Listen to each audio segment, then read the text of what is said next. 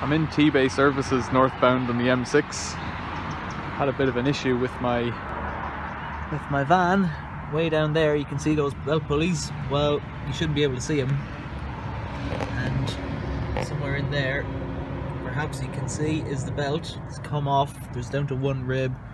The engine started boiling I'm waiting on a tow truck because I can't get a belt on a Saturday evening in the middle of Cumbria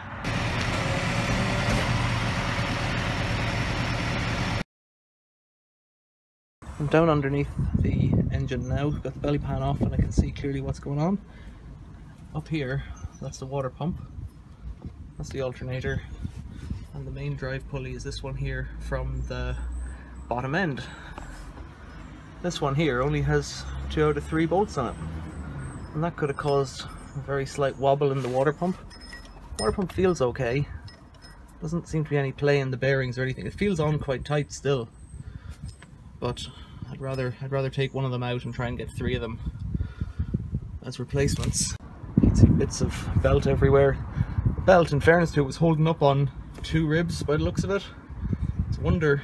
It's a wonder. But hey.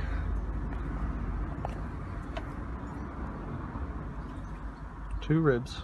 I've broken all of the seals on the bolts by putting a big Allen key into the center and then levering the small one against the big one to loosen it so it can come across but the big one holds the bolt holds the pulley from spinning. And once you have them out you'll notice there's a couple of shims here. And so there's no tensioner on this pulley system. So to tension it what you do is you make the V between the two pulley blades or the two sides of the pulley thicker or thinner by adjusting the number of shims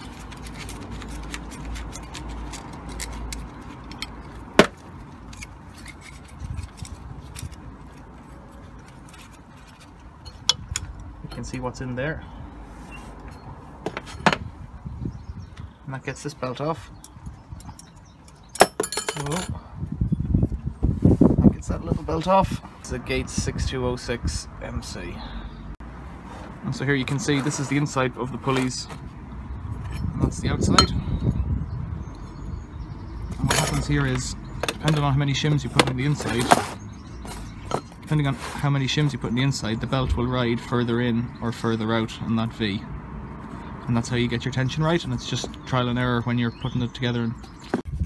And typically to get the alternator belt off, you'd loosen this one, which is the alternator tensioner belt, bolt, the alternator tensioner bolt, and the one up above, which is the pivot bolt. And so you loosen them, and then you can push the alternator back in against this big spring, which is a tensioner spring, and ease the belt off.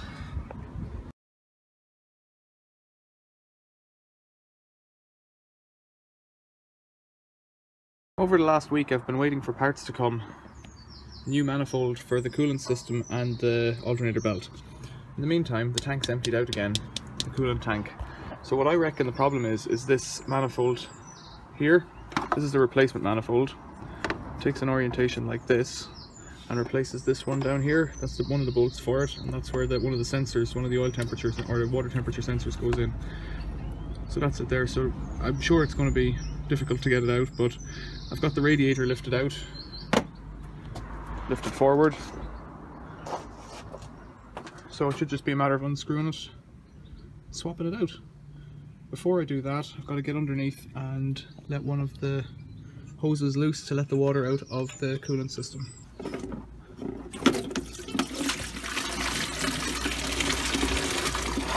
So you can see some pink staining here on the side of the cylinder head. And again, underneath on the water pump, you can see some pink staining as well. And that's a good indication that there's leaks coming out there. But when the engine wasn't running and when it was laying up, the drips were all coming from the top of the oil filter just there. You can see the drip coming down. And I've I think that's coming from that manifold, so I'm going to swap it out. So I've disconnected it from the hose at the front and the two connectors on the sides and just behind there you can see the last glow plug on the right and I've disconnected the strap cable on that because I think I'm going to need that off to get it out so if I just loosen that with my finger now and it wraps all the way around this manifold what's going to catch me out is that I can't see to get the Jubilee clip that's on the bottom of the and the bottom hose of the that's attached to the manifold. Um, the bolts were quite easy to get out, they're just a 10mm head. On the left hand side here where my finger is, there's a little, you can almost see it in the tip of my finger, it's, it's a earth cable that goes to here. You just have to disconnect that as well, remember to put it back on. So somehow, maybe if I can get this hose out from the bottom, disconnect from the bottom, pull it all the way up, that'll do it. In the end, the only way to get the manifold loose at the top or to get the bottom hose off the manifold was to release it at the bottom of the engine at the other end of the hose and then it gave you a bit more space to pull the hose upwards and that worked. With the old one out and compared to the new one, the old O-ring had a load of shmoo on it and I suspect that if it was leaking, that's where it was leaking.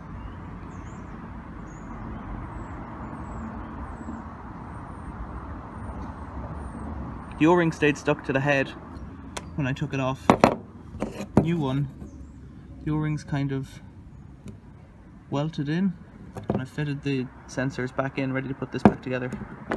So this is the hose that I pulled up from the bottom and there's the manifold on the on the cylinder cylinder head side.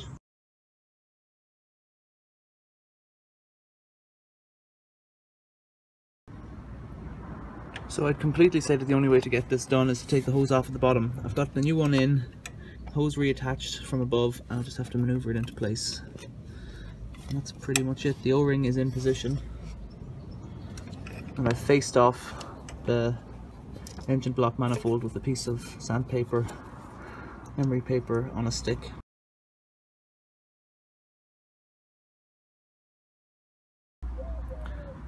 So when I'm tightening up these little Allen keys, Allen bolts here, what I do to get a grip, otherwise the pulley just spins, is I put one Allen key into this little hole on the edge and then tighten against that, use that as a lever to tighten against. And that's about it really, there's not much to these other than that. Tighten that one up and then put that little belt back on and then tighten up that one in the same way. You can either put the Allen key through the hole in the center or from one Allen key to another to tighten it up. There's the tension on that belt. There's the tension on that belt. You know, there you can turn it about 45, about 90 degrees even there. Um, and it's not at the limit of its play, there's about another quarter inch there.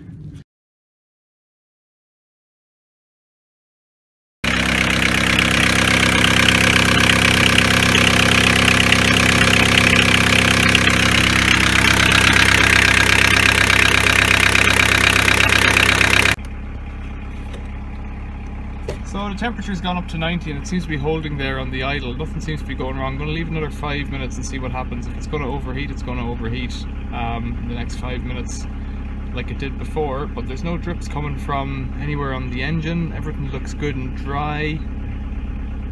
I'm pretty happy with it.